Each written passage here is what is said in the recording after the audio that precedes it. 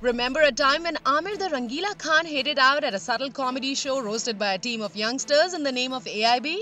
Well, it is all well to have black humor, what say? But not for Aamir, who played a holier than thou attitude at the roast episode of Ranveer Singh and Arjun Kapoor and spoke about remaining clean to create the right image. So, what is the image he created when he casually said that his wife would like to leave the country as she feels unsafe here?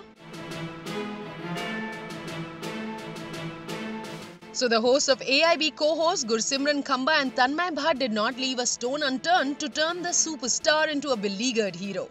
Rightly so they felt as he gave the brickbats without knowing the facts.